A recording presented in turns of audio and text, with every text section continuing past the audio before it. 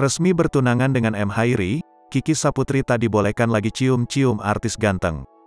Kiki Saputri telah resmi bertunangan dengan kekasihnya, Muhammad Hairi di RA Suite TB Simatupang, Jakarta Selatan pada Sabtu, tanggal 22 Oktober tahun 2022.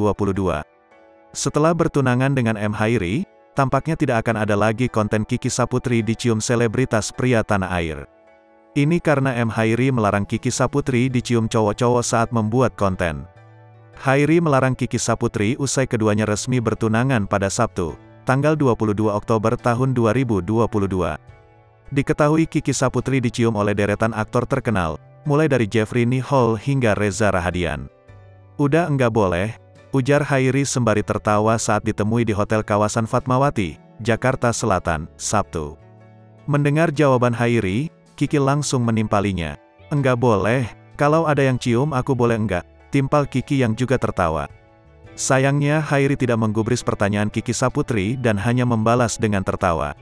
Sebagaimana diketahui, Kiki Saputri kala itu sempat membuat heboh dengan konten di media sosial saat dicium beberapa aktor terkenal. Aktor-aktor tersebut ialah Reza Rahadian, Jeffrey Nicole, Afgan, Iqbal Ramadan hingga Boy William.